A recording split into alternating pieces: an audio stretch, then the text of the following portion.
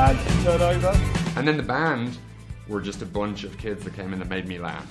Like Ben with that hair and just told stories about being in school. And I was like, he's in.